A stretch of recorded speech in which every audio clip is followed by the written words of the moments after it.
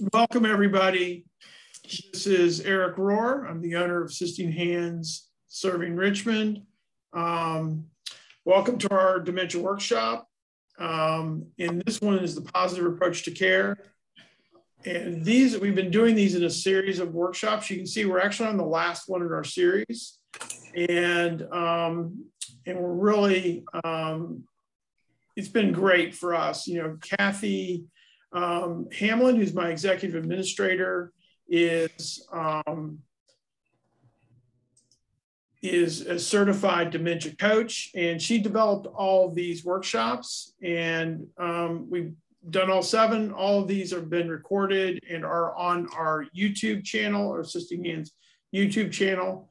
And um, I will just say this about this particular workshop is a few video clips in here of Cathy and I doing some role playing on um, how to, you know, approach someone with dementia. Um, I don't expect any kind of uh, Oscars or awards for my acting abilities. So um, I, I, did my best though. And the, we had no camera person. We literally set up a, a camera on a, a, tripod and went for it. Uh, and this was deep in the Rona uh, during the coronavirus. So we were kind of trapped in our office when we were doing some of this stuff. So it was a good use of our isolation. All right. Anyway, um, welcome. This is the positive approach to care. And I'll turn it over to Cathy.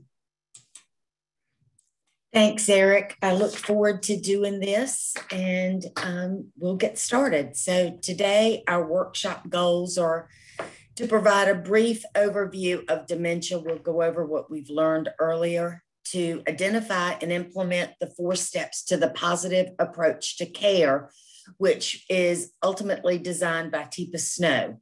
Um, and we'll also identify resources available to the families and individuals living with dementia. But before we start, I would like to know how many of you, what type of experience you have with a person living with dementia is it a person you know or love or are you a professional caregiver or you just want to learn more? If you could kind of let us know where you are with that.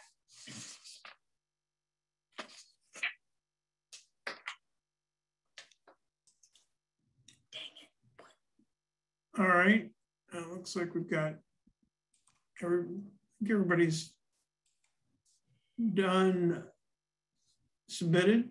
So um you know it's pretty split.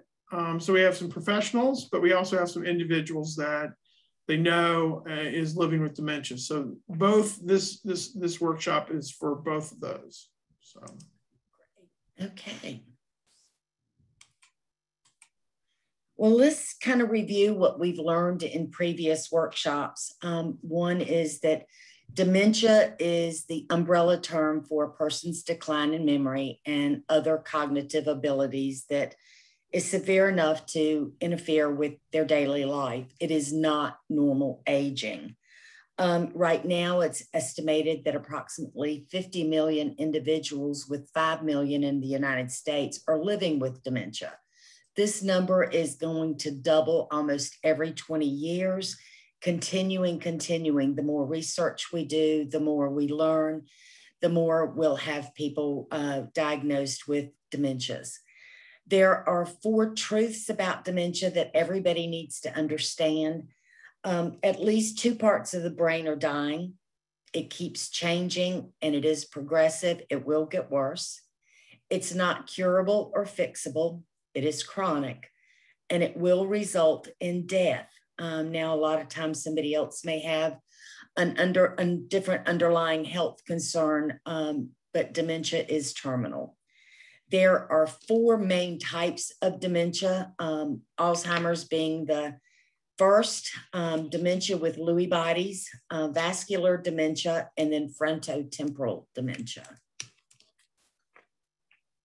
There are several causes and risk factors in determining um, who will ultimately come down with dementia. Advancing age is probably the biggest risk factor, but it can also affect people as early as 40, 50, and 60. If there is a family history of dementia, your chances are really increased that it may come to you. Genetics also plays a huge part in dementia, and um, people with Down syndrome actually are at a higher risk for dementia than other people. Thought that was kind of interesting when we learned that. Um, risk factors and brain health, um, alcoholism, drug addiction, diseases like diabetes, all of these can lead to dementia. Um, you've got 10 common symptoms of dementia, memory loss that disrupts your life, challenges in planning or solving problems, difficulty completing familiar tasks, confusion with time or place, trouble understanding visual images and spatial relationships, new problems with words in speaking or writing, misplacing things and losing the ability to retrace your steps, decreased or poor judgment, withdrawal from work or social activities, and changes in mood and personality. But keep in mind, just because you may have one or two of these symptoms, it does not mean you have dementia. If you've got two or more, then I would suggest that you go ahead and see your medical doctor and see what's going on. Now, until there is a cure, there is what we call a positive approach to care. There are four steps that are incorporated to provide the ultimate care and allows you to do with and not to the person living with dementia. So the four steps are a personal physical approach or PPA, and that can be visual, verbal, and touch cues that match their abilities. And then sometimes smell and taste senses are amplified as the dementia progresses when your other senses start to deteriorate. Then we have the positive, positive personal connection, positive action starters, and hand under hand. Now, it also, we want to recognize unmet needs and distress. That could be physical, could be they're hungry, they're thirsty, they're in a lot of discomfort or pain, or maybe even need to go to the restroom. You also have emotional unmet needs, and that could be anger and sadness. Loneliness is a big thing, fear or anxiety, or even boredom. And then we also to, we need to create supportive environments to make all of these connections work. Keep it simple, have really good lighting, make sure that the temperature is regulated appropriately, and always make sure that the noise level is under control.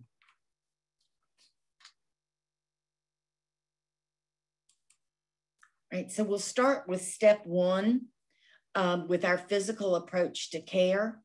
And always remember that we need to use visual, verbal, and touch cues that match our abilities. But the first thing you want to do is to pause at six feet out and to make contact. You don't want to get into their personal space until you're invited.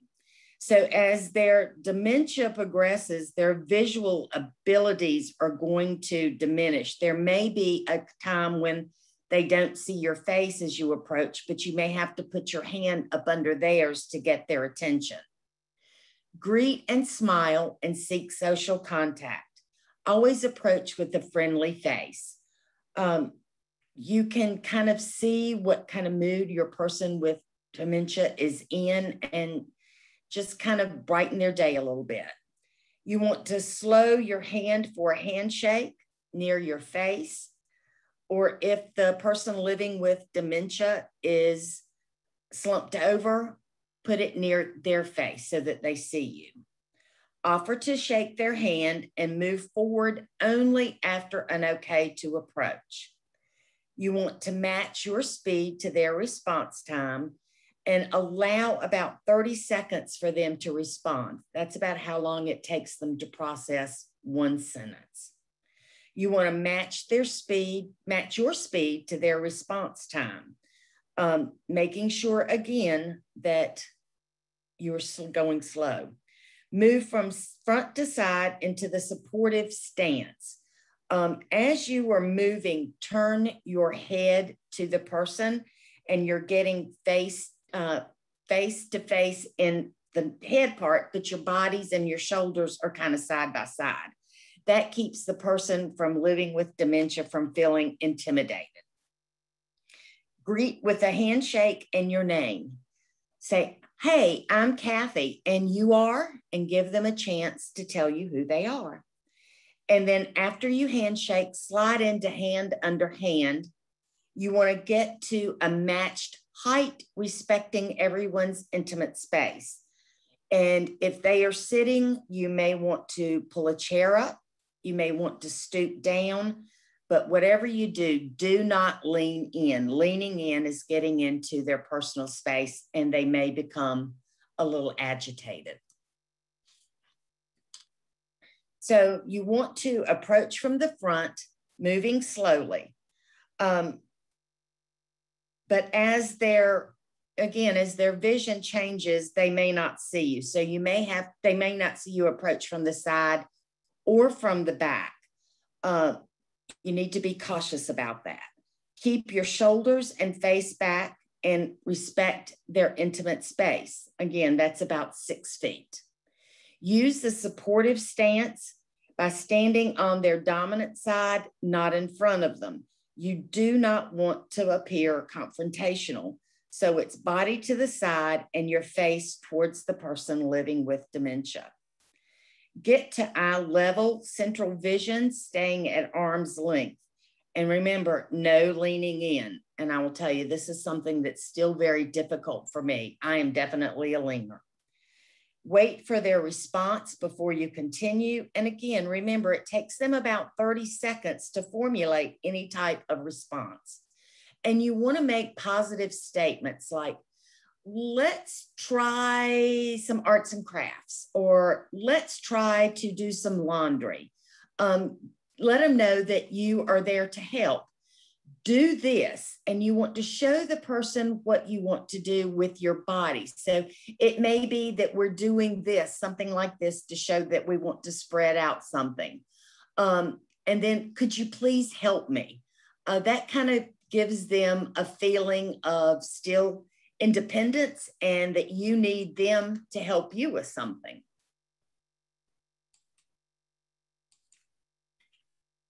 When you are approaching someone who is distressed, um, you need to show some empathy. Um, let them know that you support them and try to determine the source of the distress if you can. Let the person move towards you, keeping your body turned to the side so that you can be supportive and not confrontational. If the person is seated and you don't get permission to enter their personal space, turn sideways and kneel at six feet out.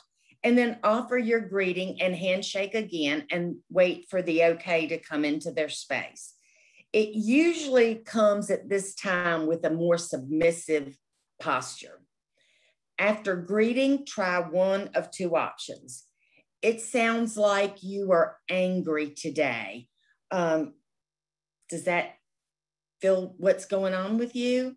Um, so you really want to try to get into their world immediately so that they know that you are empathetic and that you really care.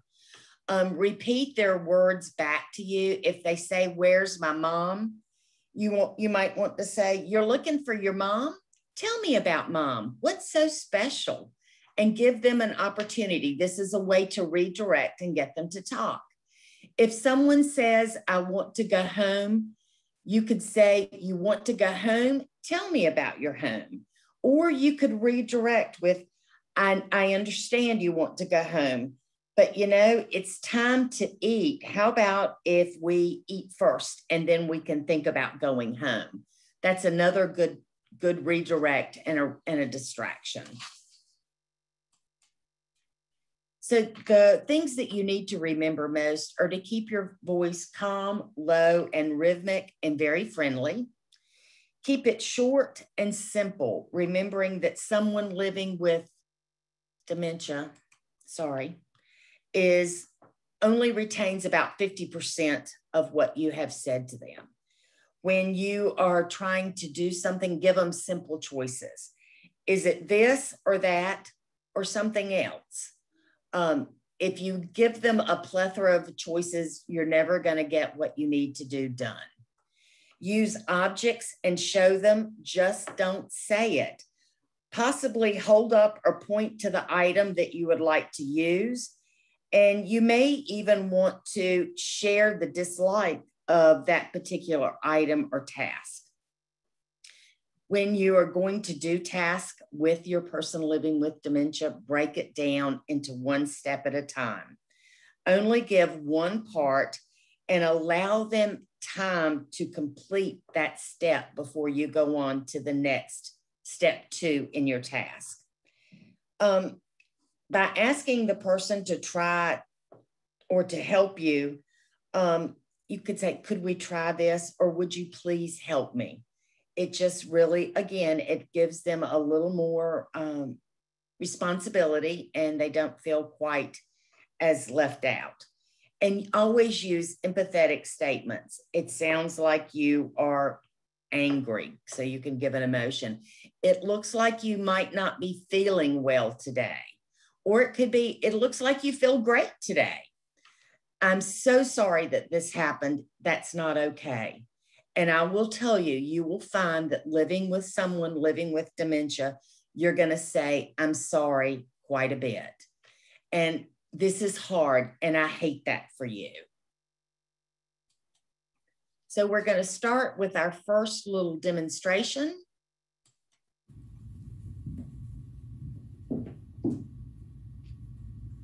Hi, Eric. It's Cathy.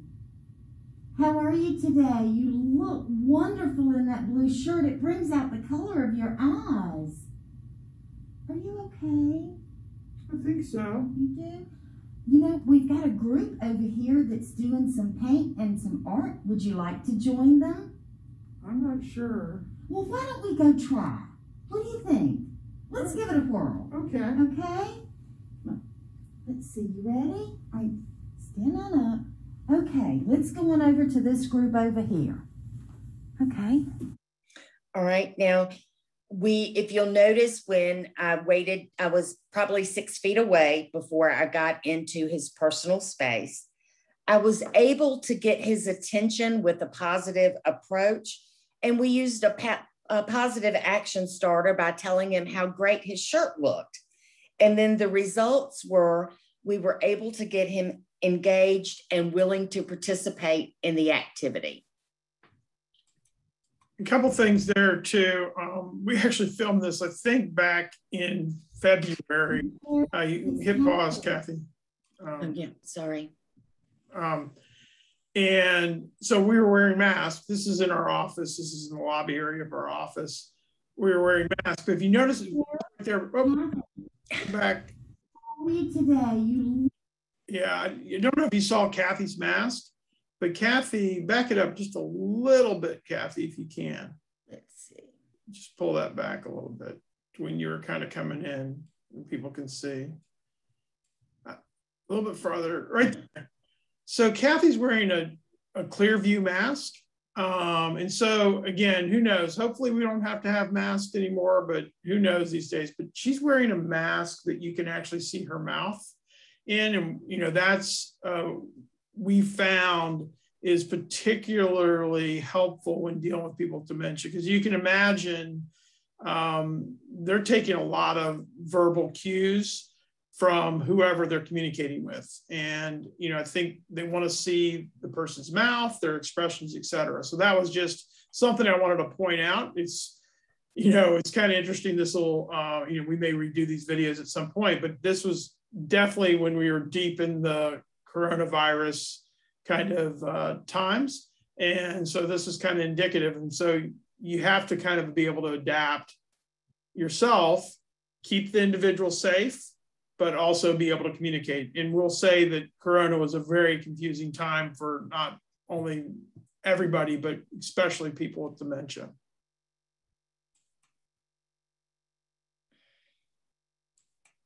Eric, my mouse is not working. Okay, there we go. Um, step two is making a positive personal connection. So when you greet them, you want to introduce yourself and use their preferred name instead of uh, grandma or grandpa, you might want to say, Hey, I'm Cathy.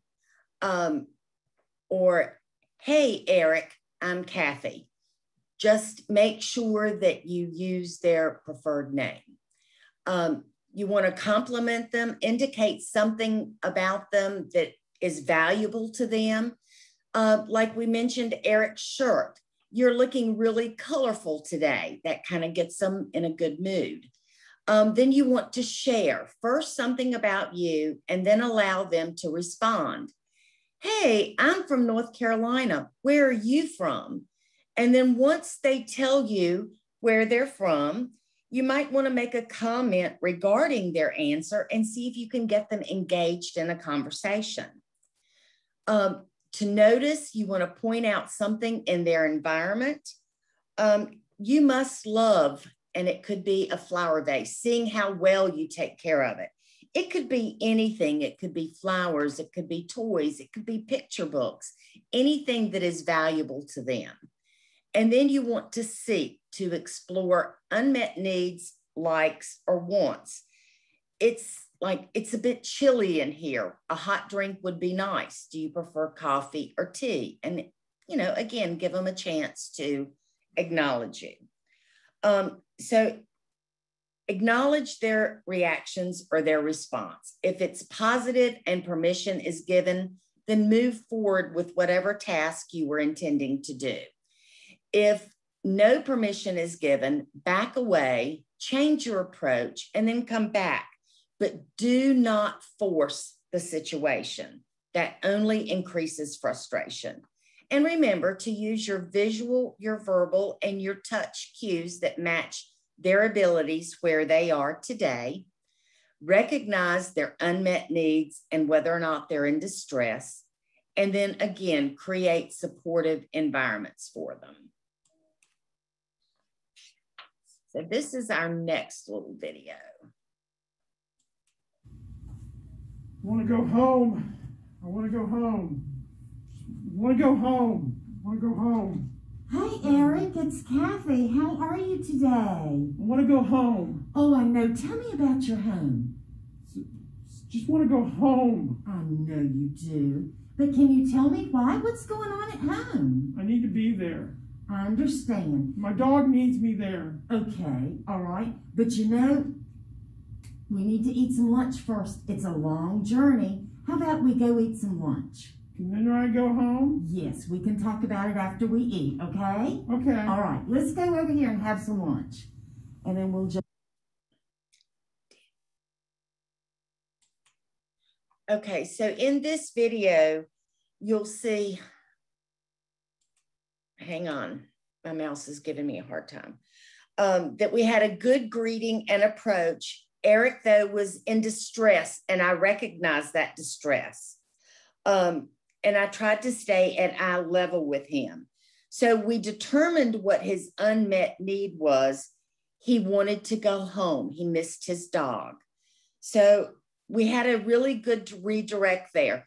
And then if you'll notice, I did not pot, I did not promise he could go home. I told him we could talk about it. And that kind of set, um, kind of got the situation under control. I want to go home. I want to go home. Okay. So after you've had an opportunity to approach and connect, then you want to use your positive action starters. Um, one of them is help. Be sure to compliment their skill in whatever area that you are needing help, and then ask them to help you with that. You are so good at folding. Would you please help me? Um, so anything just to, you know, tell them you are asking for their help rather than making them feel like they can't do it. You want to try to hold or to point to the item that you'd like to use, possibly sharing in the dislike of the item or the task. Could we try this? I know you don't like it, me either, but together we could get this done. You want to also try to give a little bit of a choice by using visual cues to offer two possibilities or one choice with something else as an option. So you want to say this or that, but do not give more than two options at a time. Again, if you do that, then you will never get your task or whatever you needed to do done. Keep it short and simple. Give only the first piece of information at a time and maybe offer a time frame of one to five minutes to get that done. And it's like, it's about time too. And again, take a shower. And then we're going to break it down into steps with how we go about taking a shower. And then step by step, by only giving a small part of the task at first and lean forward to help them stand up. This is the only time that leaning is acceptable. You want to keep it going with a thumbs up, positive af- affirmation, and genuine support. And then at the end, thank them for helping you or thank them for working with you. And remember your visual, verbal, and touch cues that match the abilities where they are now.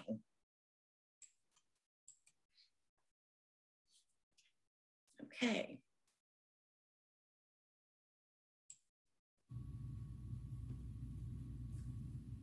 Hi, Eric. It's Cathy. How are you today? Not doing so good? Not good. I'm so sorry to hear that. You know, it's time to take a shower. I bet taking a shower would make you feel so much better. Are you sure? No. No bath? No shower? No. Bob will take my seat. Okay. So Bob took your seat?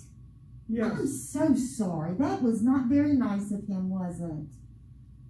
Well, I'll tell you what, it'll be easier to get your seat back if we can take a shower and get cleaned up a little bit. What do you think? Let's go take a shower and then we'll go talk to Bob together about your about your seat. Okay. Okay? All right, well come on, let's go. There you go. Okay, so in this one, we did have a good approach at six feet, but you'll see that he was not willing to invite me into his personal space the first go round. So you have to kind of back up, regroup, and then start again. And this time, my reapproach was using empathy for what he said was bothering him. And then thanking him for his cooperation to help take a shower and then offering the solution by saying, you know, if we can get you cleaned up, you can keep your seat. So then we have step four, which is hand under hand. And this is a great way to greet and connect, to offer your support and your comfort, to guide and direct movements, uh, it also helps to assist with fine motor parts of a task, to use utensils, tools, or materials. The goal is to do with the person and not to the person. And by getting into a hand under hand, um, it just it's a it's not confrontational and it's a good way for you to help them get to where they need to be.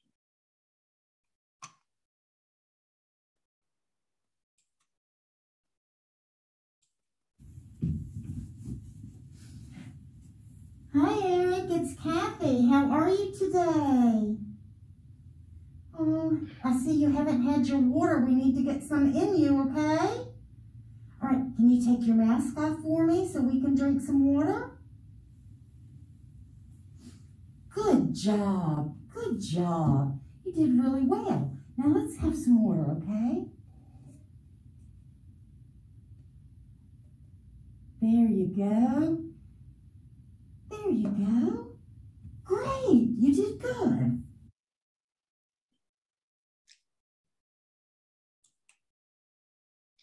So on this one, you'll notice that um, I did have a positive approach. I did stop. Hi, Eric. It's Cathy. How are you today? Oh, I apologize. My mouse is going crazy. Um, I did get on his dominant side and into the supportive stance. Um, we noticed that he needed some water. He wasn't drinking. So we asked for his help when we slipped into hand under hand. This gives us an opportunity to guide his whatever we're doing, guide his hands to his mouth to drink, but it also lets him be taking his own drink. We're just keeping him from having an accident. And then we thank him for doing it and give him praise for doing it. And remember, we're doing with and not to. I could have just put the cup up to his mouth and had him drink, but in this case, we helped him to do it himself. Finish playing the video again, just so people can see that And yeah, after that okay. description.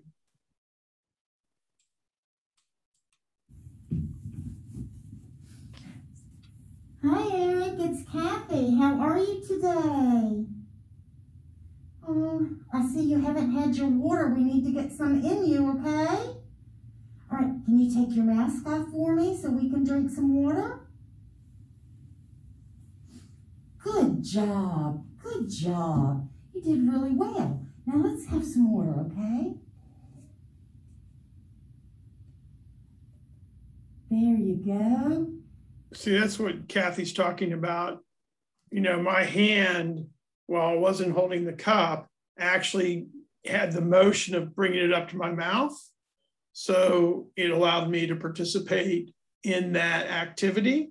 Um, and um, versus you know Cathy just um, dribbling it down your shirt. and and also you know I'm going to have a cue as a person when I'm done drinking, my hands naturally going to push down because that's what I would do to take the cup away, and Cathy's going to be able to feel that, and she's going to be able to take the cup away as well because she's going to know I'm done with that sip or drinking. So.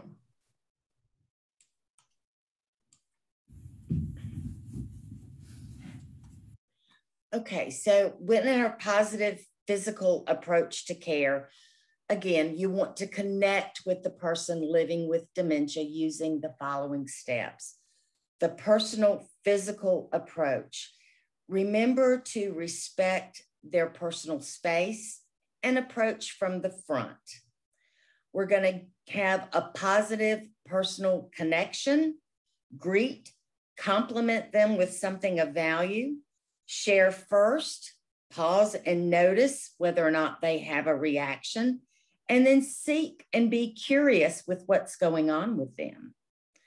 You're going to have your positive action starters. This is asking for help. Would you please help me? Or trying, could we try this with your choices? Is it this or that? Simplify. It's about time to do whatever task you're going to do and making sure that you give step by step instructions slowly and that you give them time to respond.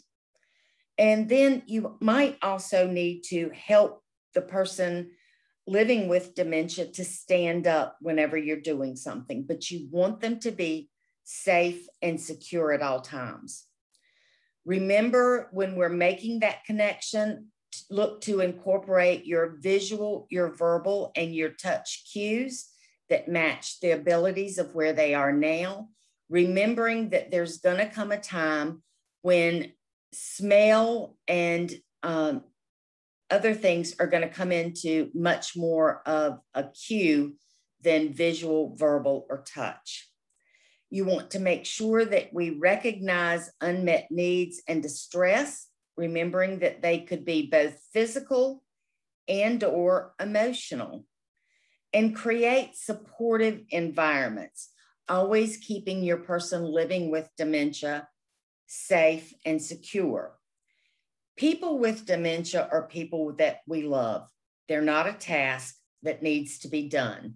And this is something that I think we all forget because we're in a hurry to get something done. And we just don't let them help and we just push forward. Not, not very wise of us. So we have some dementia resources for you. Um, this particular workshop was based on what I learned with Teepa Snow and her positive approach to care. Um, Teepa has a lot of resources out there for everyone, professionals and family members, and even the person living with dementia. She hosts what she calls a brain cafe once a week on uh, the internet. She also does uh, sessions on Facebook Live every day at eight o'clock in the morning and at five o'clock in the afternoon. She always has some really good tips for about 10 minutes. And then also there's two new streaming TV show, TV channels that are on that promote a lot of Teepa Snow's uh, blogs and her um, dementia recordings as well. That's Peacock TV and Saltbox TV. And those are free, and her, her workshops on there are also free. AARP of Virginia is also a good resource for some dementia materials. We also have DARS, which is the Virginia Department for Aging and Rehabilitative Services. They're located right down the street from us. Uh, George Worthington is the contact there, and he is wonderful. He always maintains an open door policy and is willing to help you whatever way he can. And then, of course, there's always the Alzheimer's Association. Um, with the Greater Richmond chapter, um, they have a new executive director, Lisa Greenlee. She is also a wonderful person to work with. And if you haven't registered, you might want to go on the uh, Greater Richmond chapter of the Alzheimer's Association. They will be having an Alzheimer's conference um, later in the month, and it is free, it is virtual. Um, a lot of great things planned for them at that particular time.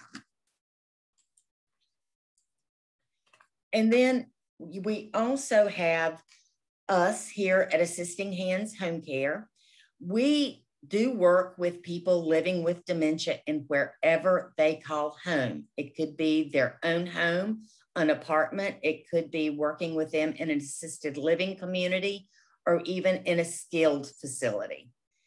And then always, if you think you are to the point that you need for someone to be in a secure unit, Brookdale Midlothian is a great place. And I'm sorry that Brooke Brockdorf is not here to tell you about their community, but I can tell you we've worked in there with them previously. Um, it's a great community. They've got good staff and they've got a really good um, memory care program there. So now I have another uh, poll question for you. I'd like to see if anybody's interested in learning more about in-home dementia support and care, or whether you are looking for a memory community.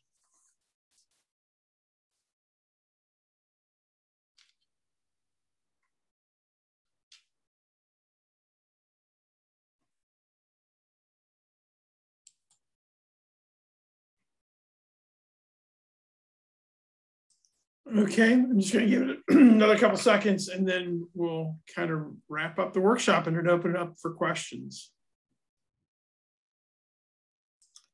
Okay, great. Um, thank you all for um, participating in the poll. Go ahead and go to the last slide, Cathy. The next slide. Okay, so as we mentioned at the beginning of the workshop, this was the last in our series. Um, we've actually been through this series twice um, here over the last year plus. Um, we are going to put a pause button. We're not going to right now, we don't have a scheduled workshop for October um, because Cathy's working on some additional workshops that we want to add to the rotation. And then we'll start up either um, before the end of the year or at the very beginning of next year. But I think we'll probably start up maybe in November, um, assuming, you know, either with this series of workshops as she's finishing up the other ones. But we have three that we're kind of contemplating right now. Um, one is on medication um, and dementia. Uh, that's both medications that uh, people take um, to help manage the dementia. Um, I think uh, well, to let everybody know, there is no cure of dementia right now. There's no medical, no medicine or uh, drug right now that reverses or ceases uh, dementia, but there are medications out there that help manage some of the um, side effects or the uh, characteristics of dementia. And then also how to help manage just medication around people with dementia, because that's a, a difficult um, uh, process. So we're actually working with a local compounding pharmacy and a pharmacist on that um, workshop. Um, we're also working in a little bit more depth with some financial and legal people to talk about some of the financial and legal issues that come up with managing um, an individual living with dementia and the family. And then um, Cathy's working on one around activities for individuals living with dementia. Um, we're actually partnering with um, uh, an individual um, here locally that is actually creating dementia uh, activity boxes. And so we'll actually talk about those activity boxes, but again, the type of activities you can engage in to help, um, you know, stimulate the individuals with dementia. And I, I think, you know, one of the big things with individuals living with dementia is keeping them occupied and keeping them active and keeping them effectively distracted will help them from slipping into some of the more um, aggressive dementia behaviors that you know you can see. And you know that was you know we've had workshops on how to help manage those. Oh and there's one other and i think cathy's putting together a final one um, is on just um, being a caregiver for someone living with dementia and kind of caregiver burnout and how to help manage that part of the whole care continuum. So anyway those are we're really excited about those. Um, and so we're in developing those and um, we'll be putting those into our rotation. Um, and i'll say that you know we're doing these workshops on zoom kind of because of covid. These were all designed initially to be done in person at various communities or various venues. Um, we're now starting to do those. So if you have a need and you'd like cathy and i to come where you are um, geographically reasonable for us to get to, we would um, love to come and uh, do our workshop with you know a group of people. We find that those are very meaningful as well. In fact, like I said, they were designed to be in person. So anyway, just wanted to kind of let everybody know about that. So I'll open it up to any questions. Um, also, I, I'll, I'll turn off um, the um, recording here right now so we can kind of have, um, you know, any kind of more personal questions, we can kind of handle that as well. So let me turn off the recording um, now. So thank you for attending our workshop.